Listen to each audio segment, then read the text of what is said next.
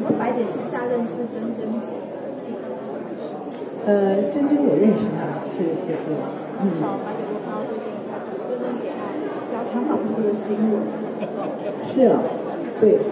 你好，你好，呃，因为呃，我想这个是他们的家务事，我们不好做任何的批评。那而且我自己在刚刚从澳洲回来，因为我的侄女结婚，所以赶到澳洲。然后我就回来，你看这么大的一个场地，我们花了两天的时间，把所有的画作从君悦酒店搬到这里，然后再挂上来，非常的不容易。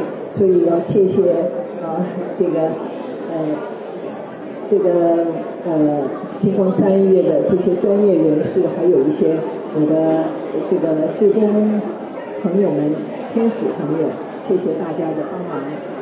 呃，跟他们两个互动。您看，你觉得我的画怎么样？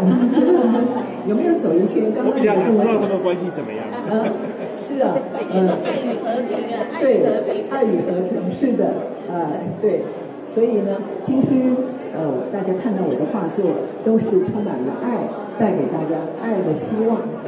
因为我习惯了很早就起来，所以呢，现在回到台北，我也是早上。六点钟我就醒来了，所以趁着阳光很好的时候，我就开始画画。我很多的画作都是早上在画。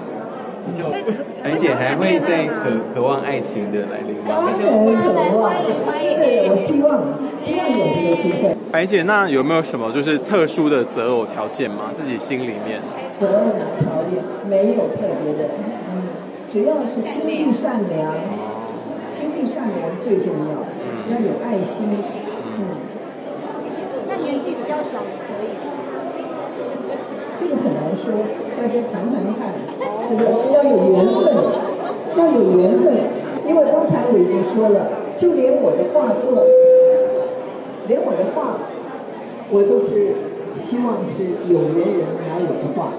那已经好多人是。那年纪小的可以接受到几岁？不知道，这个就是缘分，对不对？